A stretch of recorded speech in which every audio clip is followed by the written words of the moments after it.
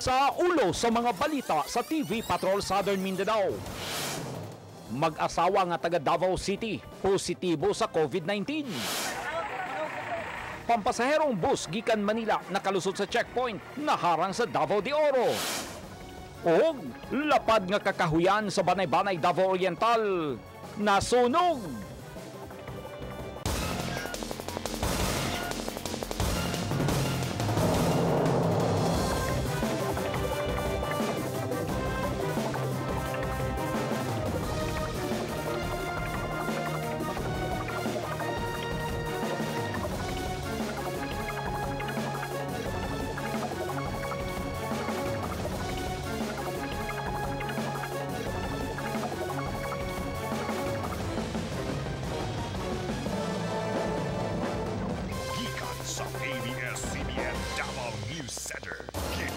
Ang TV Patrol Southern Mindanao.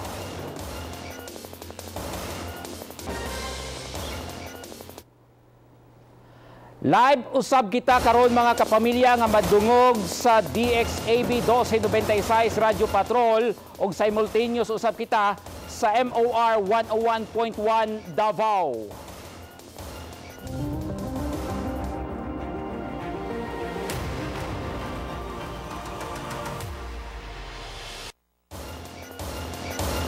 Misaka na sa 396 ka mga kaso sa COVID-19 ang natala sa Pilipinas karong adlaw. Gikan sa 380 ka kaso kagahapon og 33 na ang namatay pero misaka sab sa 18 ang ihap sa mga nakarecover sa makamatay nga virus. Ang kumpirmasyon nagikan mismo sa Department of Health sa Davao Region Ato sang paminaon ang pahayag sa Department of Health.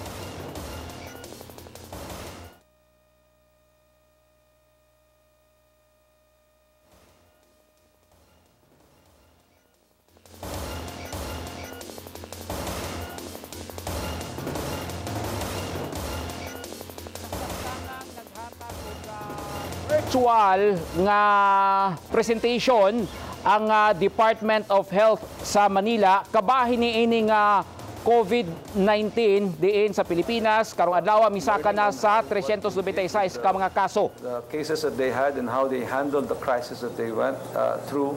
At marami po kaming natutunan ukol sa mga experience nila tungkol sa problemang naharap nila pag, ah, paggagamot ng mga pasyenteng COVID-19.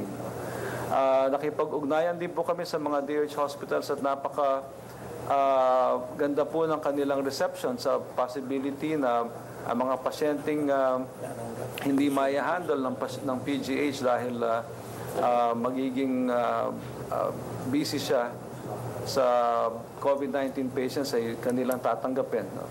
Uulitin ko po, hindi po exclusively COVID hospital ang PGH. Meron pa pong mahigit apat na raang ah, mga pasyenteng nandoon na nangangailangan ng eksperto, ng, ah, ng expertise ng mga tao sa PGH at ng kanilang mga gamit. Pero kumukonti po sila dahil nga naka-lockdown tayo. No? So, um, tuloy rin po ang serbisyo sa Cancer Institute. Ah, although napupuna rin namin na kumukonti rin ang ah, mga tao dahil sa lockdown. Ah, siguro po, ah, mga ilang araw pang hinihingi namin dahil hindi po biro ang ah, paghahanda rito. Ang aming pong ekspektasyon ng mga ah, pasyente na darating ay magnified by maybe 5 or 10 times para ho ang aming ah, paghahanda ay hindi kumulang. No? May mga challenges po, marami pong challenges, especially with PPEs. Ah, kung paano pong pupunuin ang ah, pagkukulang, pero sa tulong po ng mga pribadong ah, ah, sektor, ng mga donors at ng DOH, ah, kami po umaasa na bago mag, namin na formal na buksan ang aming mga pinto sa mga COVID patients, eh, ah, handa namin silang ah, alagaan kahit sa mga isang buwan at least ang aming palugit.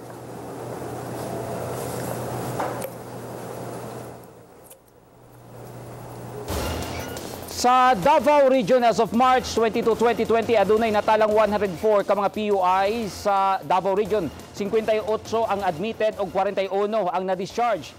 8,285 person under monitoring og tulo ang kumpirmadong nagpositibo si PH130, PH262 ug ah, PH263.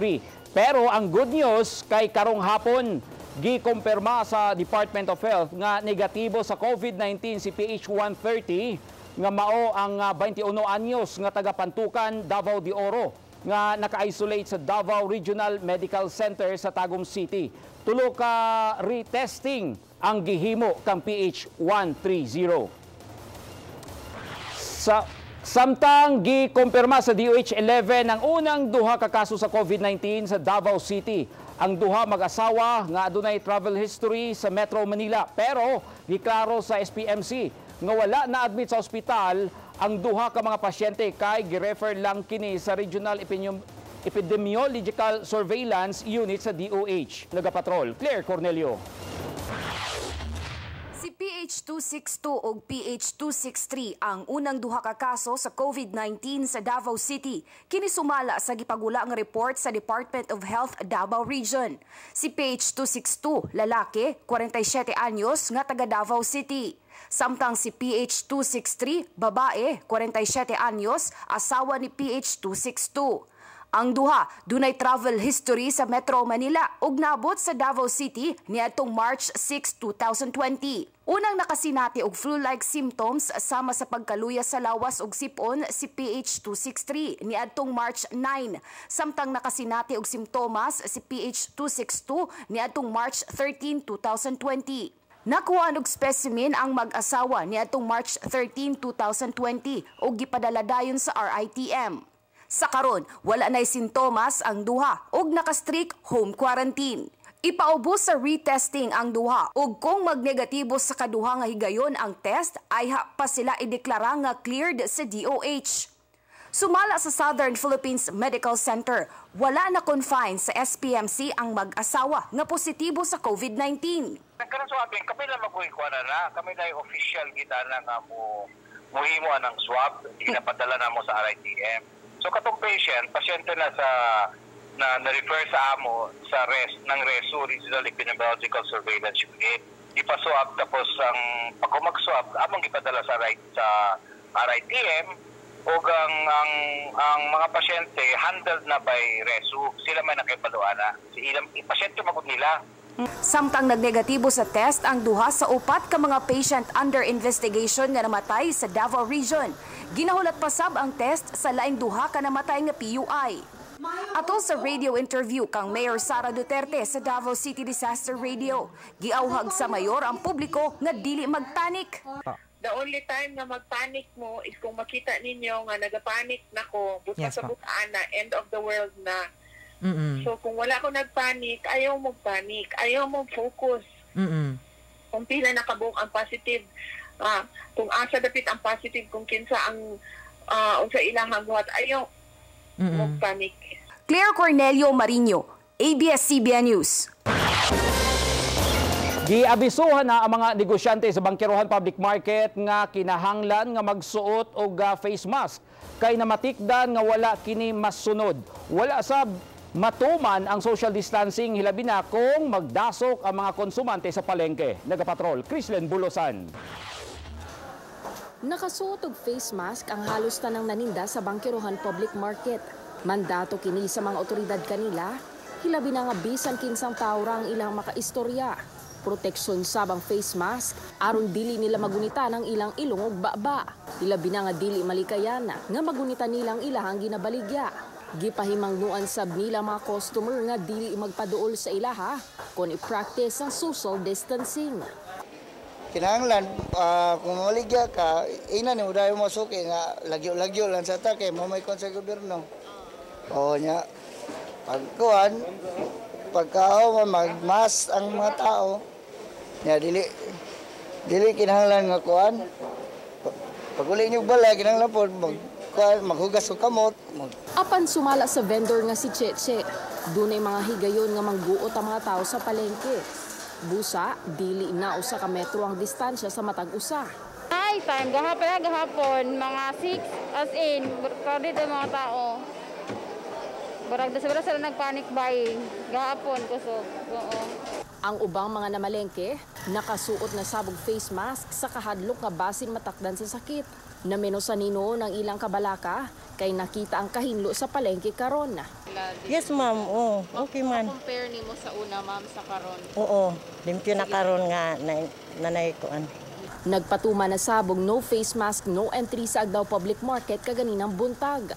Kanunay ginapahimangnuan ng mga vendor sa palengke. Nga gawa sa pagsigurong hinlo ang kaugalingon, importante sab nga limpyo ang palibot. Chrislen Bulosan, ABS-CBN News. Og update sa effort sa Davao City pagbatok sa COVID-19, makauban nato sa linya sa telepono si Davao City Mayor Sara Duterte. Maayong hapon, Mayor Sara. May hapon na Sir Paul ug sa tanan naminaw karon na sa TV Patrol Davao. Mayor, unsay latest sa COVID sa Davao City ug sa Davao Region? Um, ang latest po nato is uh, today nag-conduct ta og uh, relief operation sa dinhi sa syudad sa Davao. And I understand ang uban po natong mga mayors po magpahigayon po sila karong sa manuhuna og uh, paghatag og uh, relief good operations. Uh, daghan naman po ang daghan-daghan na ang apektado no sa pagsara sa mga business establishments and private offices sa sa tibuok uh, region.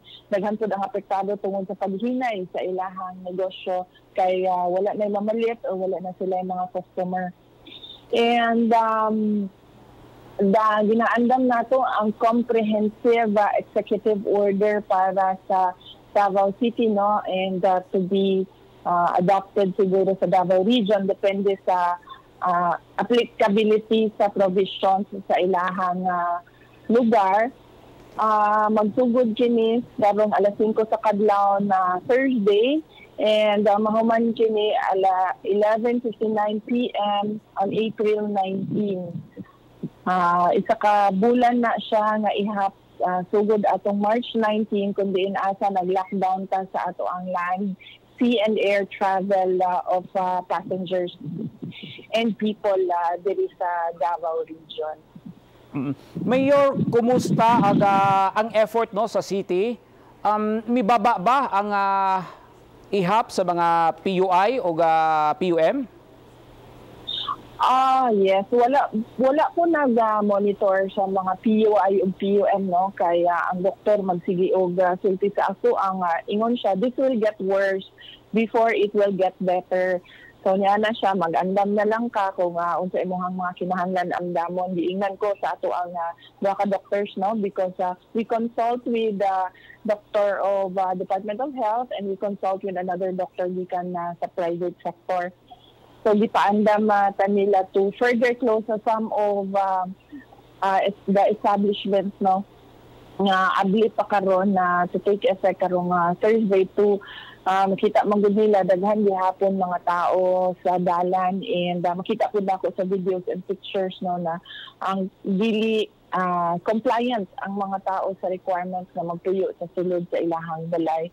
So uh, ginabuhatan nato paagi na mabuhat ang gusto sa mga doctors no nga magtuyo ang mga tao sa balay uh, dunay distansya 2 uh, meters between uh, individuals and then uh, regular uh, hand washing with uh, soap and water. Dili na nato masulti tong katong isa no nga magpalayo sa ubang tao nga gikan sa laing lugar because naa naman good dinhi uh, sa ato ang lugar ang nag-positive. So ang dapat gid buhaton is kitang tanan magpalayo sa usa-usa. Mm-hmm. Mao na lang gid ang ato ang pinakamabuhat. And uh, yesterday po, uh, doon na gi-refer sa ako uh, ang ato ang mga doctors no nag-ingon sila na na sila highly suspected na COVID-19 patient nga nagsulod og uh, uh, sa bungan diri sa New Matina, uh, Galera, Davao Galera sa, sa bungan. Atong uh, March 6 to March 13 so nagka-announce sila nga tanan tao nga nisulod sa bungan atong March uh, 6 to March 13 mag-isolate sila.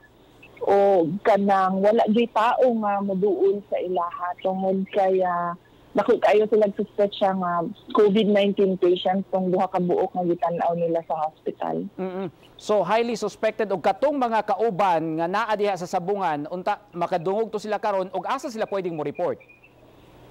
Yes, uh, pwede silang mo report sa operation center kung uh, Hindi na sila gibati nga sipon, ubo, kalintura, kalibanga, or sakit nga tutunlan. Doon na namin nakita na isa no, nga nag-refuse gyud nga mo sa health center, gi-report na siya. Ah, positive siya nga ni adto sa sabungan ato ng mga dates. Karon di ubo sipon og kalintura na siya. And ah, we are trying to do something about it. Kung unsa unsa namo siya ma-retrieve dito sa ilaha na balay. Kay kaning tawhanan ni nag-refuse siya na mag-submit ah, sa mga health centers nato ug sa mga doctors nato. So pa pahinumdom lang ko sa mga tao nga nisulod sa sabungan uh, New Matina, Davao Galera atong ah, March 6 to March 13 na mag-isolate mo pati ang inyong mga paryente o kinsa man to nga nakaduol sa inyo ha mapaingnan ninyo nga mag-isolate sila for ah, 14 days sugod tong adlaw nga sugod atong adlaw after nga nisulod sila sa sab- sabungan. Mm-mm. Mayor, balikan nato tong rasyon no nga ihatag sa city government. Unsay sistema ani o ga kinsa-kinsa ang makadawat? Ang ah, sa rationing nato, ang sistema ani would depend sa barangay no. Kaya gitagaan na mo sila standard kung paunsa mag-distribute meaning dapat dunay social distancing dapat ah, dili magkagubot uh, kanang mga ingana na standard of distribution gihatag namo sa ilaha but uh, dunay mga barangay na ah, nag-ingon na kaya nila mag house to house delivery sa ilahang mga food packs because lain-lain man gud og situation ang ato ang mga barangays. Diri na ay mga barangay nga gagmay lang og population na ay mga barangay nga dagko kaayo og population. And ah, ang mga beneficiaries na pwede ah, mag-avail sa ra- ration card nato no? Mga indigent and out of work uh, head of families because of COVID-19, contractual, no work, no pay, and out of work because of COVID-19, self-employed and out of work individuals because of COVID-19, and low-income individuals with significant loss of or reduction of income because of COVID-19. So, um, naghangi pa atong mga, daghan man kaayo ta, apektado no, sa nahitabo, but uh, we ask that sa mga better off who can afford uh, nga mo palit og ilahang kaugalingon nga pagkaon for the next month or two ihatag na lang nila ang opportunity sa kadtong mga naglisod yun nga mga tao nga one day one eat kumbaga mo trabaho sila karong adlaw karon ra pud sila makapalit og ah, pagkaon na karong adlaw so kung wala na sila trabaho wala pud sila ikapalit og pagkaon. But ah, we try to accommodate we will try to accommodate everyone na ato ang ah, mahatagan o food relief goods pinaagi sa ato ang rationing. Mm. Mayor, doon na kay igong panahon para manawagan sa mga Dabawenyo. Yes, ah, manawagan ko sa ilahan na kinahanglan na kitang tanan musulti sa musunod sa mga ah, orders no sa mga doktor sa ato ah, nga magtuyo sa sulod sa balay o uh, magdistansya sa ah, with the- with ah, at least 2 meters ah, between individuals o uh, hugasan pirmi ang ato ang kamot o tubig ug sabon and of course katong pang ah, kahimangno nila na kung doon na mo gibati nga ubusik on kalintura, sakit sa tutunlan o kalibanga, mag-check-in mo sa operation center para mahatagan mo og ah, instructions. And magpasalamat ko ah, sa mga Dabawenyo sa ilahan paging ah, kalmado. Ah, karon I hope Ah, sige nag-remind sa ilahan no every day naga-onboard mi sa radio station nato sa disaster radio nato 1 PM nag-remind sa mga tao na dili magpanic. Ah, because ah, there is no need to panic and dili magpanic buying sa mga grocery because ah, ang ato ang grocery magpabilin nga abli nakasabot ang doktor ana and ah, niingon siya yes correct magpabiling abli ang mga tindahan palengke o supermarket Okay, daghan kayong salamat, Mayor Sara Duterte sa Davao City. Maayong hapon, Mayor. thank you maayong hapon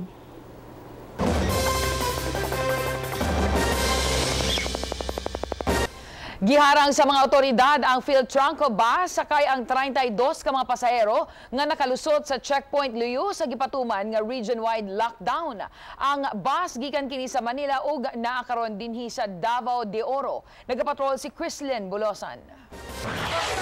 Tulo ka adlaw ang gibiyahe ni ining bus gikan Metro Manila. Pero pag-abot ni ini sa border sa Moncayo, Davao de Oro ni adtong Sabado sa gabi, giharang kini sa checkpoint tungod sa ginapatumang region-wide lockdown sa Davao Region. Sumala ni Governor Tyron Uy, nakabiyahe ang bus sakay ang 33 ka pasahero apilang driver o nagipatuman ng lockdown sa Davao Region. Taga Davao Region ug BARM ang mga sakay. Gihatagan og konsiderasyon sa mga otoridad ug gipasulod sa ang mga pasahero pero gipailawom sa 14-day quarantine sa usa ka isolation facility sa munisipyo. Ang gobyerno nasab ang mutubag sa ilang pangadlaw-adlaw nga pagkaon. Siguro sa pag-lockdown sa Manila, ah ah, nakagawa sila and then wala sila kay balungan. Nag-lockdown punta diri sa Atua. Mo na nangaipit sila. In fact, ah ila ka buka checkpoints ang naipitan nila from Visayas to Mindanao. Ang niya, murag naaman sila ah na sila pass Natingala si Davao Region COVID-19 Task Force Chair Davao City Mayor Inday Sara Duterte kung paunsa nakalusot kining bus sa mga unang probinsyang naagian na nga nagpatuman sa Bug Enhanced Community Quarantine. Pero ang kondisyon ni Mayor Sara, kung dunay magpakita og sintomas sa COVID ang usa sa mga pasahero, dili niya kini pasudlon sa Davao. Ah, doon ay filtrang ko. Wala ko kasabot kung ano nakabiyahe pa ni sila considering nga naa may lockdown ang Manila, 'di ba? So I do not understand gano'y doon ay mga nakabiyahe nga nagsakay og filtrang ko. Na ay farm dito nga duol sa entrance sa Davao de Oro na ay farm dito. Butan sila dito 14 days. Mm-mm. Tagaan sila ga tuluganan, tagaan sila pagkaon for three times a day. Mm-mm. And then after 14 days, i-check kung kinsa tong naay simptomas, dili makapadayon og biyahe. Mm-mm. Kung kinsa tong walay simptomas, makapadayon na sila og ah, biyahe. So mo na lay na uh, pinaka nga win-win solution nga nakita namo. Gisiguro sa mayor nga dunay magbantay sa mga pasahero. Ah, naaday mo bantay, yes. Oo, naa dito. Nag-care off na ni nato sa, because this is a Davao de Oro situation, no? So, ang ang ato ang governor, Governor Tyrone Uyo, ato ang mayor dito si Mayor Ramil Hentugaya, they're doing something about it na ma-quarantine og 14 days. Ningon ang doctor, dili pa daw makita ang effects sa atong quarantine in 3 to 4 weeks. So, insakto gyud tong istorya nato may nga basin naa gyud sa mga duha ka bulan. Subling mihangyo si Mayor Sara sa mga bus companies nga suspendihon na ang ilahang mga biyahe, labi na dunay ginapatuman nga enhanced community quarantine sa daghang lugar. Chrisland Bulosan, ABS-CBN News.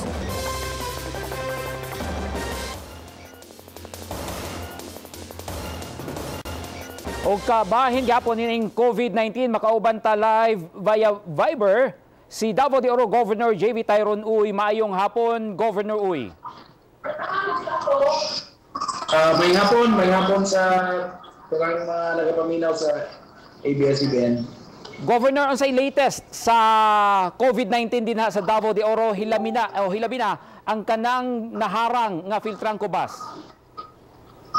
Ah, Sir Paul, ah, naaman sila sa maayong kahimtang karon, naa sila sa ato ang Davao de Oro Farm. Ah, 33 kabot ni sila, 31 ka ah, apil na ang driver o ang ah, helper niya no.